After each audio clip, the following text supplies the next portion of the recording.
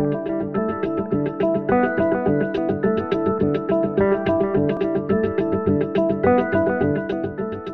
right, uh, good morning. Uh, For those of you that don't know me, I'm Rob Herring. I work in the office of the CTO. Uh, Recently, I've been working with LMG on Android HAL consolidation. Um, This started around the last Connect. Uh, This is an update on uh, progress in the last uh, six months.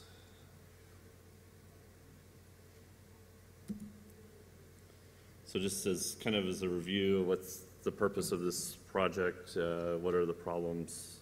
So today, Android is a uh, very vertically integrated where you have to build everything from user space, kernel, uh, firmware, trust zone, um, and, and it's takes a lot of effort to create a new device uh, with uh, changes in, all through the stack.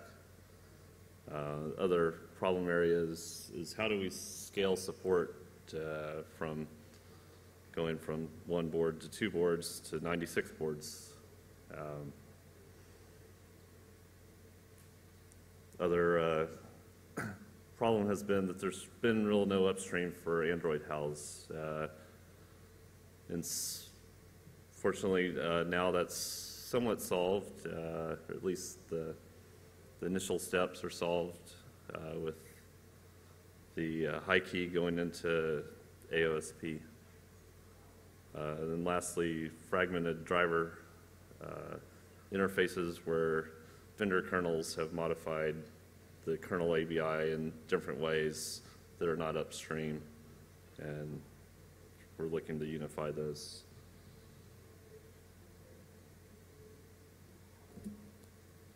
So kind of uh, goals for the project. uh, We want to, for new hardware support, that should be in the kernel and uh, get to the point where enabling new hardware uh, requires enabling the kernel, and once you do that, you have support across uh, Android, Chrome OS, traditional Linux distros, uh, embedded distros. Uh, Getting to the point where mainline kernels just work. Uh, John Stultz has been doing a lot of great work there on uh, Nexus 7 support. Uh, Kind of the end goal here, major end goal here is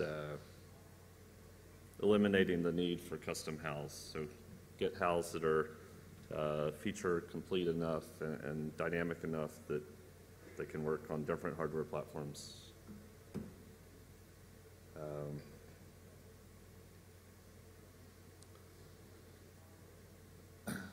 And then in, in the area of supporting multiple boards, uh, making it easier to add a new device. So one, one question I've heard multiple times this week is, uh, well, HiKey is in AOSP now. Uh, are there plans to add another board, add Dragon Board, for example, and uh, Bubblegum? Uh, so I've heard that partly because I've been asking that question, uh, but I've heard it from others as well. And and this project is aimed at, at making that process easier where it wouldn't even be a question, are we going to add more boards? More boards are just nearly free to add. Uh, and then creating an upstream community for Android devices. So we, we have initial place to do that now with the HiKey AOSP support. Uh, and we need to morph that into supporting multiple boards uh, and the generic HALs.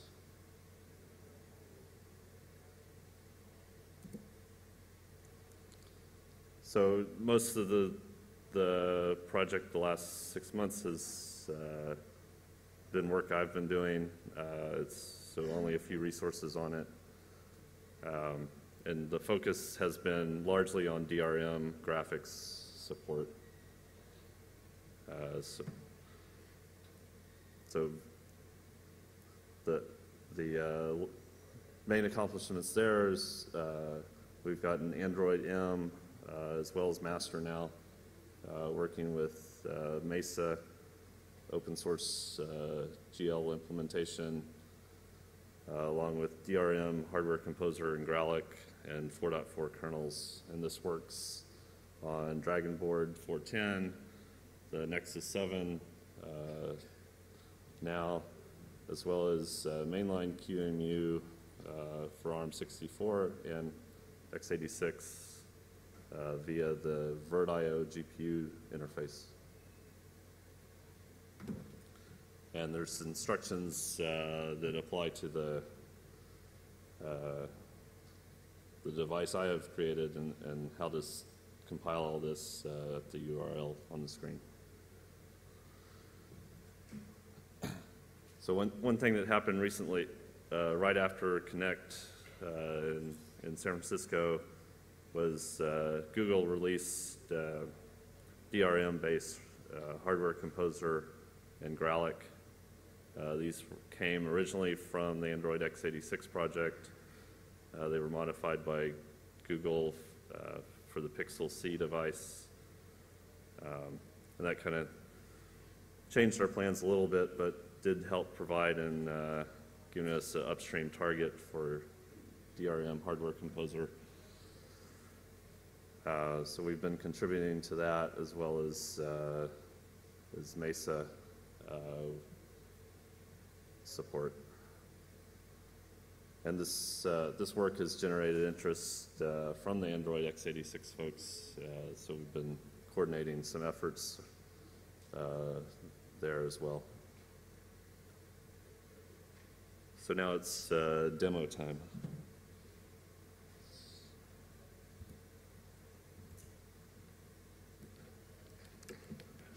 So I have a build for QEMU. Uh, this is the x86 build. Um,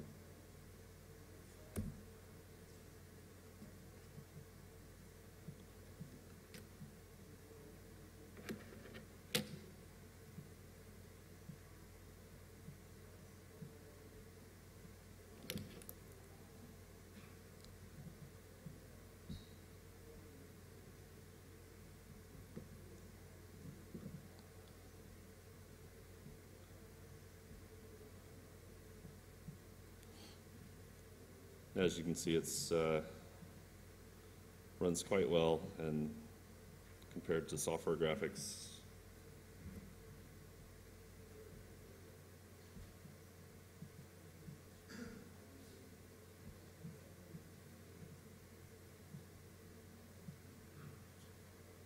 And it's running a 4.4 kernel. Um, there's about uh, five patches for VirtIO GPU needed. Those are going into 4.6. Um, and it's uh, current mainline of QEMU uh, and current uh, uh, Virgil render library, which is needed for the VirtIO GPU on the host side.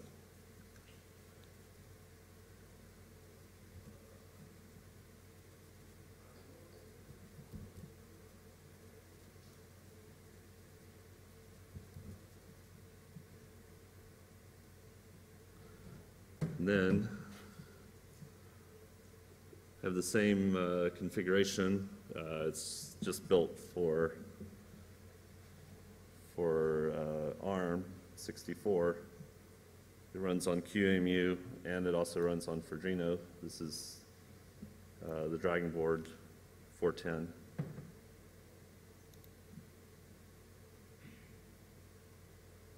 The mouse pointer is a little sluggish because it's not its own cursor plane, but uh,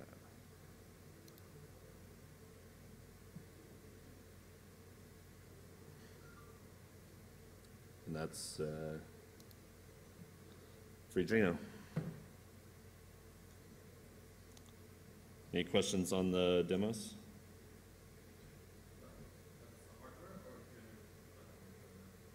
So this is uh, Dragonboard. Yes, with Freedreno.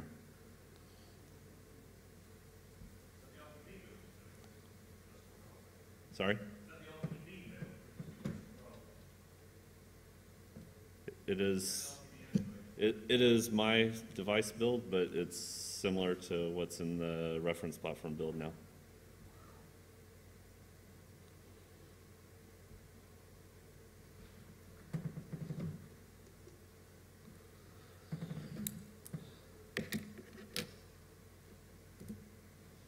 So some of the challenges uh, with DRM, uh, major one was kind of selecting hardware platforms. Uh, That's kind of what led me down the QEMU route. Um, I've used QEMU several times in the past uh, uh, when I didn't have hardware and needed to be able to test out things, and I saw this uh, VirtIO GPU that looked interesting. It Also, uh, also because the Android emulator has its own uh, host-based GPU acceleration, um, which is probably not upstreamable. So this is a, a candidate for uh, what would be the upstream solution. Um, there's numerous issues around that and that we're not looking at, but um, we've done some of the initial steps to get there.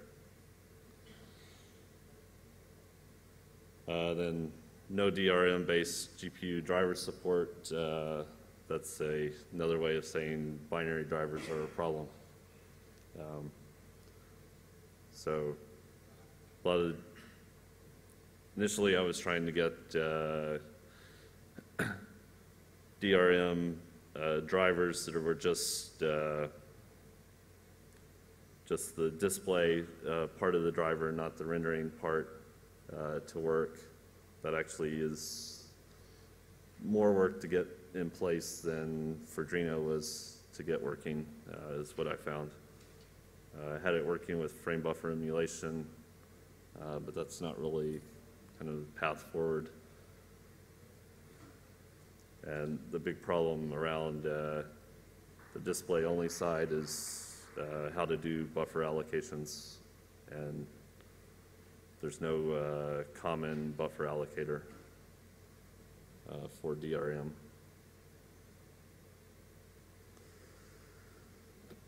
Uh, So as I mentioned, DRM hardware composer showed up in AOSP, um, and we started looking at, the, at, at it. There's a lot of complexities around it.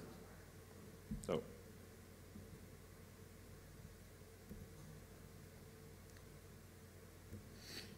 Sorry. Uh, one example is it does uh, OpenGL-based compositing uh, within the hardware composer uh, rather than kicking it back out to Surface Flinger. Um, it was the Pixel C is also a DRM kernel driver and, and the open source DRM hardware composer, uh, but it's not Mesa based, it's closed uh, source NVIDIA graphics. Uh, so it wasn't real clear uh, if it would really work at all. Um,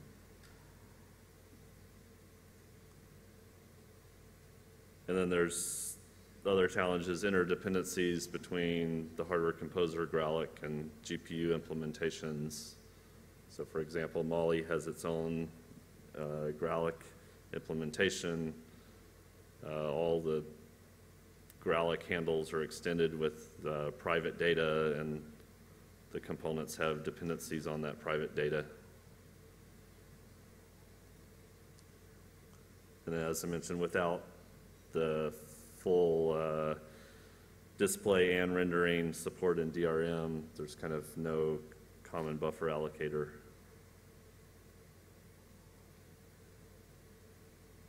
Any questions on this?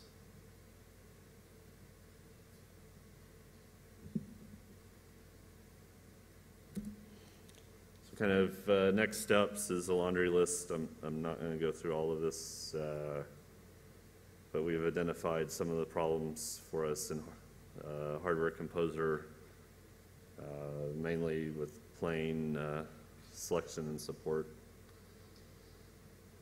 Uh, Google is continuing to develop on it, and uh, they're working on multi-monitor and uh, presumably hot plug support in it. Um, We've had some discussions on Gralloc this week. Uh, Right now, it's using kind of a private interface to Mesa. Uh, We're looking at changing that to a, to, I think, uh, GBM now.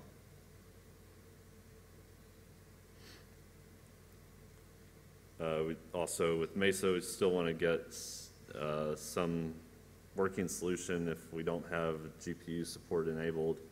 Uh, so we're looking at software rendering with, uh, LLVM pipe, which is kind of the latest software renderer in Mesa.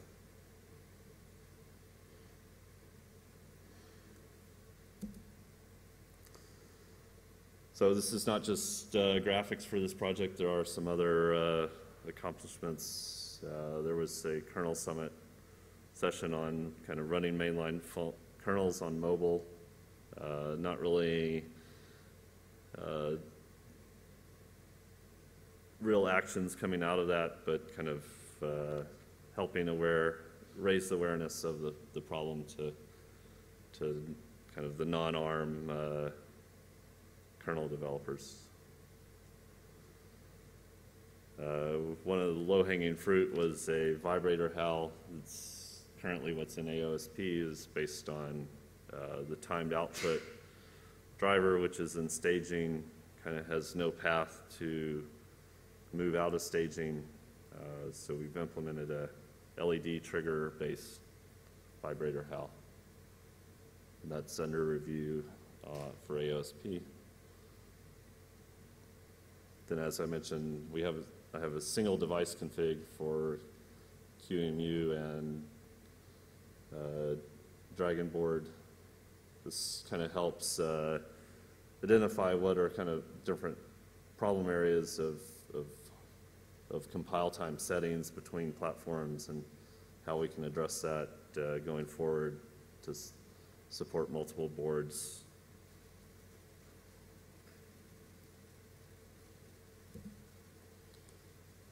Uh, Next steps in other areas, so one of the things that had been on our list was video for Linux, uh, uh, support of hard, on hardware codecs. Uh, There was a session this week on that on Chromium. Um, This seems to be more and more the direction that things are moving to, uh, so uh, hardware, all you hardware vendors uh, should be looking at this um, if you're not already. Uh, If there's problem areas with this, uh, come talk to me. I'd like to hear about them. Uh, So we're looking also at how to, uh, how to enable more boards in, in AOSP and, and kind of how we can get to a single build for HiKey and Dragon Board. And we need uh, member participation in this project. uh, So kind of other areas that near the top of our list are uh, Wi-Fi, Bluetooth, uh, NFC. Um, We know kind of some of the steps that we need to do there, uh, but just no resources to do it. Uh, Also, IIO and, and sensor support is another area that we'd like to look at. Uh, This also probably has some overlap with uh, light as well.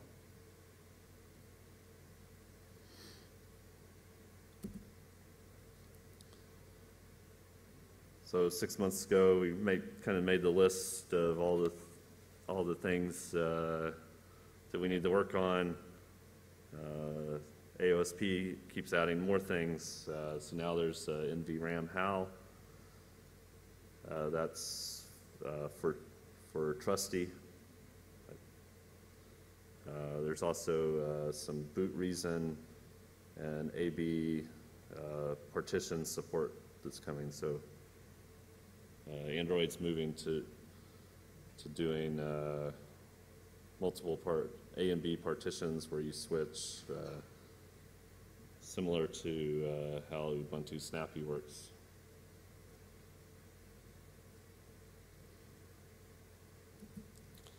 And that's it. Uh, questions?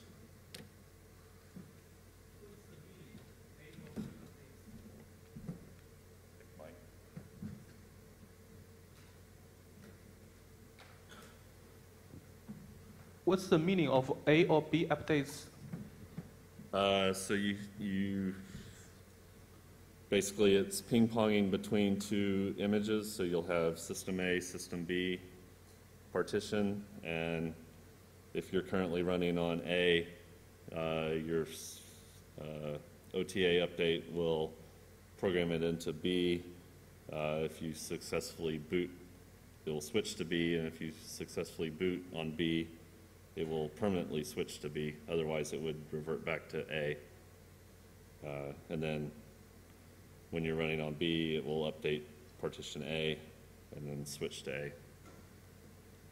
Thank you. So I I know next nothing about graphics, but I've, I've read that. uh, Neither do I. that Android is moving to Vulkan instead of OpenGL. So how does that affect all of the graphics work you're doing? Uh, So I, I think, uh, I'm not sure how much is public on that. Okay. Um, I, I think uh, for this year, it probably doesn't affect things. Um, Most, most vendors are probably still on OpenGL. Uh, It is on the list of things to look at, and- and for, for Gino, for example. Um,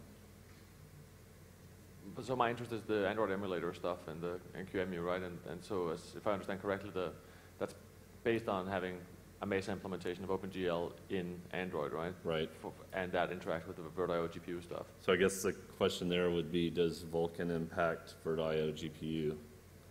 Uh, Rob Clark may know better, but I would guess not, because it's, the, the Android emulator is a high-level interface, uh, I think shuttling OpenGL commands across to the host. Uh, VirtIO GPU is a lot lower level, uh, more like GPU hardware level. So I would suspect that it doesn't impact it so much. But you, you wouldn't use uh, Mesa anymore, right? Yeah, there'll, there'll be Vulkan support in Mesa, so the Intel Okay. I uh, see. Vulkan support has been added to Mesa. So what about, so the, the, the QEMU um, VirtIO GPU stuff, does that work on a Windows host? So the, um, I'm not too sure about the QEMU part, but what VirtIO is doing is turning things back into GL on the host side. Um, Which means I'm not really sure as far as Vulkan. I mean, I guess you could probably turn Vulkan back into GL, but not terribly efficiently. Um, Going back a couple to earlier question, I would hope that they're not going to have a hard dependency on Vulkan. I, I thought it was more of a, they're going to support Vulkan and have the Vulkan ICD loader. Um, I wouldn't think that Vulkan would be very beneficial for, as a replacement for GL for the UI rendering or for like Surface Flinger. Okay. Um, That's, I mean, Vulkan is a advantage more for game sort of workloads where you're pushing a lot of state changes and you have a lot of draw calls and stuff. I mean, if you look at a typical game, there you're doing like thousands of draw calls per frame, and that's not really the, the sort of workload you see for a UI. Um, so I, don't- I don't know anything behind the scenes as far as what in, uh, Google's plans are, but. All right.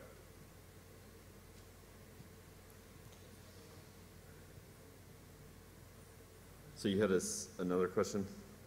Um, so my question was, um, so you use upstream QEMU, so and the Android emulator comes with other features like ADB, shell support, all that kind of stuff, with emulated sensors and stuff. Um, so you didn't need that for your work, or what sort of? Uh, So I- I've been able to use, uh, doing it over TCP/IP uh, with the host port forwarding. Uh, That was easy to do once I figured out how. Um, I've thought some about it on on what we would do there. I, I think we would want to emulate a USB device, the device controller, and, and do ADB that way. So then- ideally, you'd like oh, uh, Upstream QEMU to support sort of the same set of features as the, the Android emulator does, just in a nice upstream way. Yeah, and, and kind of do it more like real hardware rather than uh, using the special QEMU daemon running in the, in the guest. Okay, all right, thanks.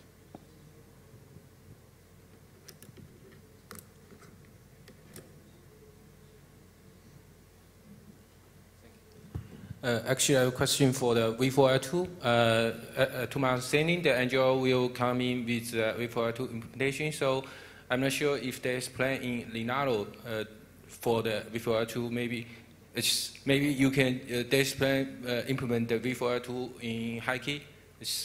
Uh, so, well, you said that, not me. But,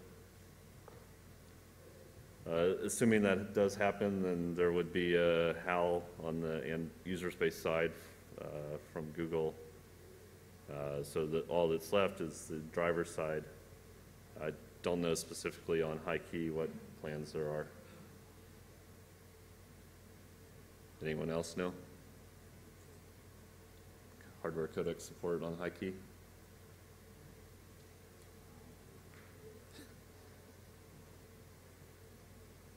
So I don't, I don't know specifically for high key. question is about the boot region. I I have no idea what is. Mike? So wh- what what is the mean the boot region for the, I mean, using LSP? Uh, I had to go back and look. It's somewhat related to the AV updates, if I recall correctly, but uh, they have a uh, HAL to retrieve uh, what was the boot reason. And is, is that how like uh, reboot, bootloader and that sort of stuff work? Or, no, it's more like what was the cause of the reboot, I think.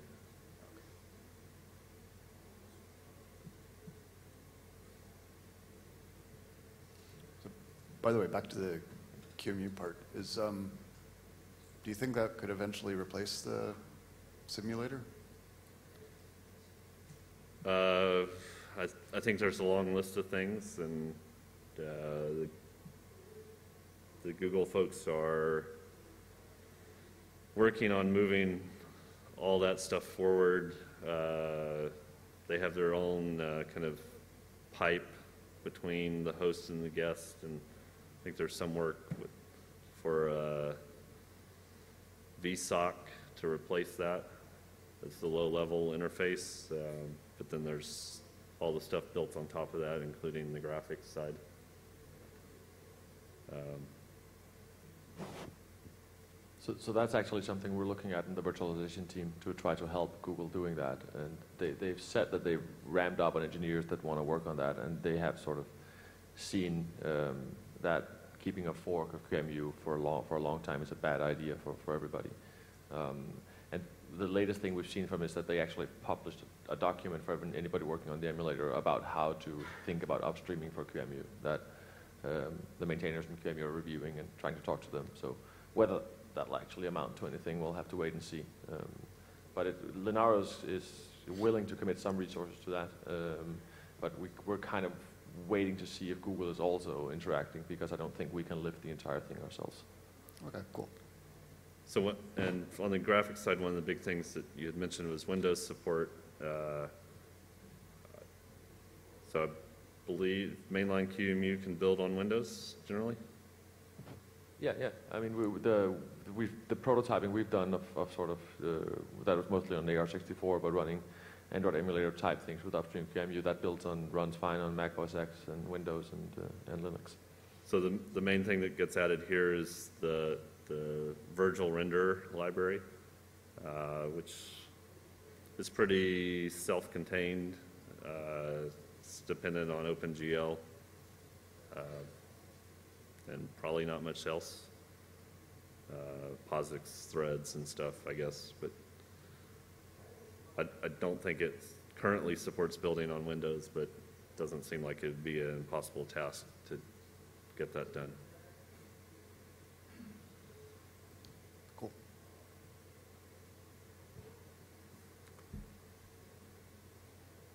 Anything else? All right, thank you.